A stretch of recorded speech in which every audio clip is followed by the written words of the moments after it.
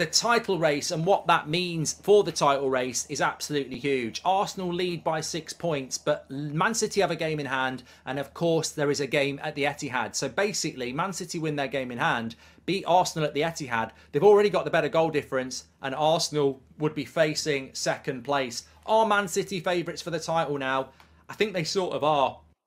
Viewers, hit the like and the share button, subscribe to the Football Terrace. This is a fan channel review show. Of course, turn on the bell notifications as well so you know when more content gets released. Today, we'll also be releasing another episode of the Top Six Show on Spotify. So scan that QR code on the screen to get it first. Make sure you sign up to auto downloads and give us a nice five star review as well. Goldbridge there stating that after the draw at Anfield yesterday for Arsenal, that in his mind makes Man City the favourites for the Premier League title. What do you think to that take? Let us know in the comments section right now. I think they sort of are, and it's ridiculous that that happens because Arsenal draw at Anfield, and that's that's conceded that that, that that feels like a loss because that's the intensity that Man City bring in a title race. Liverpool will know this. You know, you draw in a title race with Man City at the end, and and they'll win. That's what they'll do. He makes a great point there, Mark. There's no doubt about it.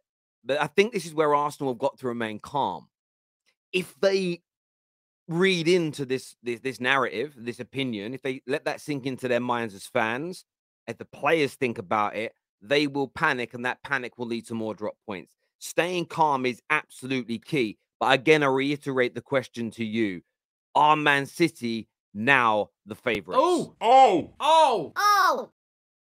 Yeah! Yeah!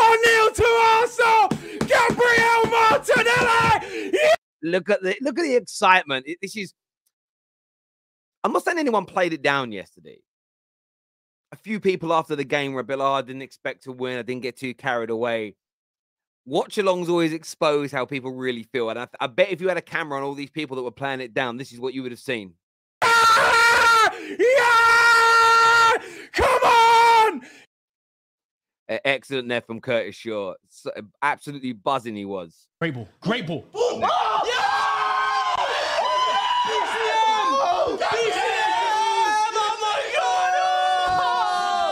I used to pray for times like this. I used to pray for times like this. I don't know why it's making me laugh so much. I don't know what's happening right oh now. Oh my god! You man won the league. Oh. You man won the league. I'm not too sure who that gentleman supports, but they won the league. I think a lot of people felt that at 2 0 up yesterday. I think a lot of people felt that. Oh my god, it's 2 0. Oh my god. Anfield, we're at Anfield. Jesus, please, I love you. And I say, wait, wait there. This is the same Gabriel as used to. Elias didn't want to start. It's true. It's true. It's true. Yeah, yeah, I thought he would have started because of the injury. Right, Oh my god. Let's talk about let's talk about the parade. sweating. Let's talk about Parade. the parade now, man. The parade. The parade. I mean, he, he can't be an Arsenal fan because he said you guys will win the league, but the parade. Ooh. Yeah, man. Where I'm did we sweating. Martinelli's got a goal and assist. Oh. I don't know. Who's, again, I get sent these clips. I don't know who edited them. I don't even know what's coming next. What's going, to happen? Bun your parade! Bun your parade! Look at your parade! Bun your parade! You are staying at yard. There's no parade in You're staying at yard. Islington. It's cancelled. Drink your water, Arteta. Drink your water. Look at look at chunks there. He looked gutted. Everyone on their phones now get. Oh, Go on, no. delete that tweet. Delete that tweet, bro. Delete that tweet, bro. I didn't see it. Sam Fuiz is considering jumping off the bridge. Send a picture of him. I bet I guarantee that whistle. I know they're all probably boys, yeah, but that whistle is probably going through them right now. Through them. Oh wow. What's next? What we got? What we got? Who's next? It's over. I can't watch. I have to turn this off. Curtis. Oh no. We've blown it. He's he's gutted. He's got that energy, that energy from the first goal gone. We've apt, we've done it. And you want to bring on Kieran Tierney, two all. Firmino header. Title over for me. Title over. Title over.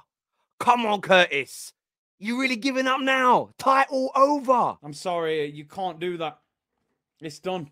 87 minutes. Trent, nutmeg Zinchenko. Why does Gabriel and No one marking him. Ben White, you're not marking him again.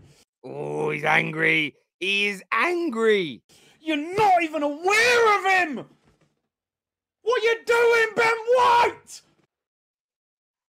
He's fuming there. He's fuming, as you can see. I get the anger. And I, I, I did think a few people played down their frustration yesterday.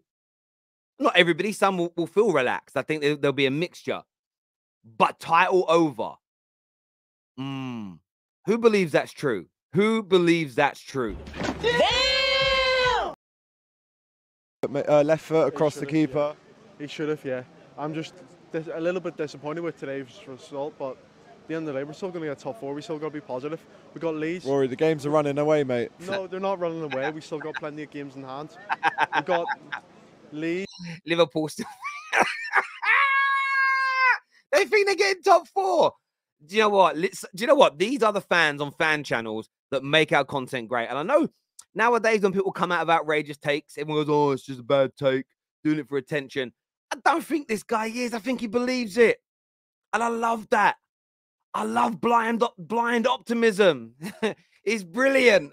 Leeds next. Look at Alex's face. He's like, "Fuck me." next. We're going to beat Leeds. I don't know if you will beat Leeds. You'll probably down tools again as players and drop the levels. Then after that, Nottingham Forest. We're going to be Nottingham Forest. We're going to be West Ham. I think it's Spurs at home after that. Have Liverpool won three games on the bounce this year? Four, as he suggested. Come on. And then we're going to win them next few games, and then we're going to be all, all of a Look at Alex's face. He just. sudden, we're talking about we're getting going to get third or second. So we're in, Rory, oh, he's gone. He's, he's ended it. He's ended it. He's, he's, we got to go. We got to go. We got to go. Stop it. Get some help. coming here. But does it feel more painful that, you know, because we're 2 0 up? Does it feel more painful? Are you happy with the boys and proud of them with their performance today? Nah, definitely proud of the boys. For me, it was a game of two halves. That's all. I think the first half we ran the show, good football, just got the goal early as well. Martinelli on job, just like he was when we was at the Emirates. Yeah. Got the goal. You get me. I think Granit Xhaka obviously got the Liverpool fans up for it towards the the, the end of the first half. I get he's proud there. Do you guys. uh, The Xhaka situation, how are you indexing that really? Like on a real one, how are you indexing it? Do you really think it was Xhaka that got the crowd up and that inspired the players? Or do you think Jurgen Klopp got at them at half time, right, riled them up, and the team came out and put in a performance? Or a combination of the two? I'd love to get your I'd love to get your take on that. I'm seeing a lot of people speak about it. And I really want to get your view. Is it on Xhaka? Let us know in the comments section. Let's keep it with AFTV here. Let's take a little look here because Carragher joined them yesterday. Big up Carragher and AFTV. and go back. You know what I mean? I just like, oh, Woken the crowd. It wo- it you woken the used to crowd tell up. Gary he still get that champagne ready. I'm waiting as I want us to do it. You know what I mean? you know what? I've got to give Carragher props there. He's coming out with some madness today about Van Dijk. We'll touch that on, on that on the space later. But Liverpool fans should be wanting Arsenal to win this league. They should be. Their main rivals in their best period in the Premier League era has been Man City. They should not be wanting it to go 5 1 to City in their era. Not if they have any hopes of getting back to being title challengers next year. Why do you want your, your, your main rivals in this era to pull clear of you? It doesn't make sense. Arsenal not close to matching any of your records, surpassing anything that you've achieved in your history. Arsenal winning it should almost be insignificant to you in the grand scheme of things. So I think he's absolutely right there. Let's take a little listen to Lee Gunner here and what he said. Where was Zinchenko? Right, and I'm not going to dig any one individual player out here, but I am going to But you're going to dig one individual player out here. just give an honest opinion of what I see today. And I'm going to watch the game back tomorrow when I'm a little bit more calm, right? But Gabriel Magalhaes, I love how he slide went- tackling at the back stick. When Salah's done nothing all game, he then whacks it, tries to clear it, and he got good connection on the ball. It hits Salah in the shin, goes in. Where was our where was our where was our left back? Hmm. Oh, he was at centre back. Why is that? Okay, well Why is that, Lee? Expand for us, Lee, my boy. anyway, uh, if you have a look at their equaliser, Do you see his eyes there? Mm, mm, mm. if you have a look at their equaliser, he got nutmegged. nuts by the worst right back in the league. Lee! Lee's fuming. He's fuming. He's fuming. I was calling for Tierney to come on at half time. And as much as I like Zinchenko going forward, and like- I said, I'm not going to just pick out individuals. I'm going to give an You just did. but you've got to. You can't do a match review without talking about individuals. It'd be very weird. Honest assessment in this fan cam. This is what we do on this channel. We don't just cry about referees. I'm coming to him in a minute. Yeah, I'm coming to him. Don't worry. We're going to give an honest assessment.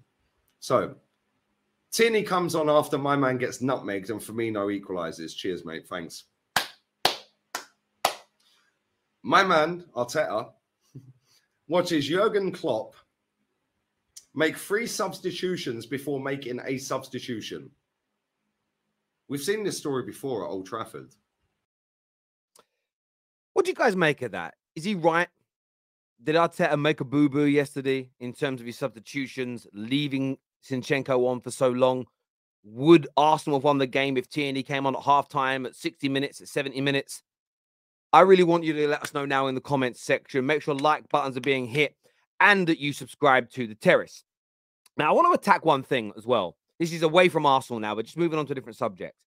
It's, it's, it's relation to Arsenal, but we're moving on from the game.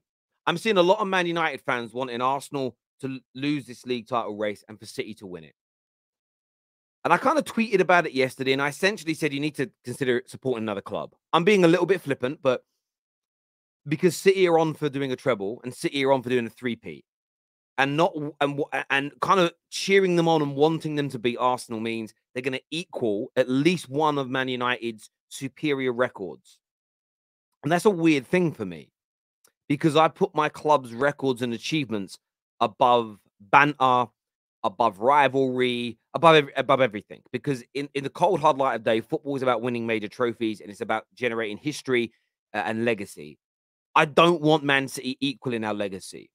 The biggest reason I don't want them equal in it is not because we've done two, we've got, we've done two three peats. They've only done one if they do it, but they then have the ability to do four on a bounce, which we have never achieved.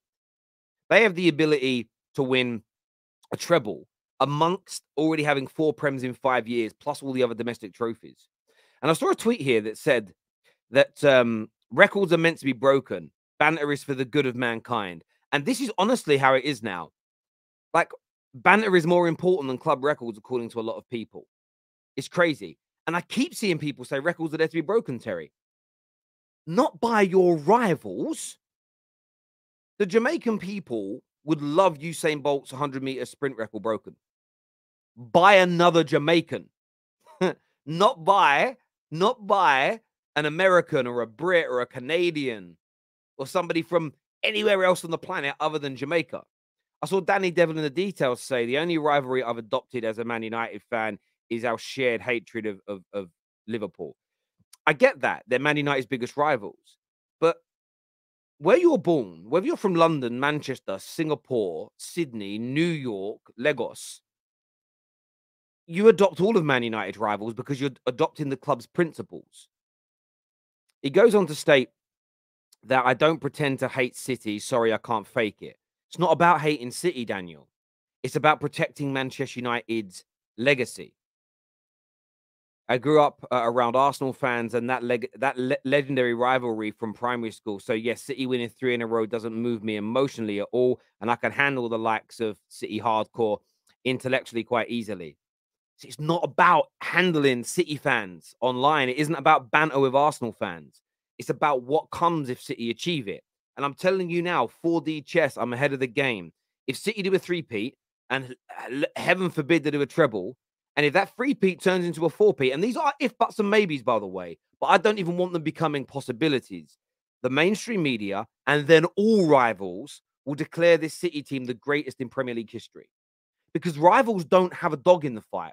Because the best two teams in Premier League history are Man United's 99 and 08 teams and their and the eras surrounding them, their years before and after. They're the best two teams. It's a fact, and everybody knows it.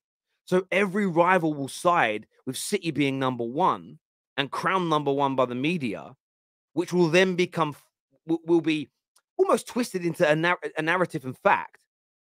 That will happen.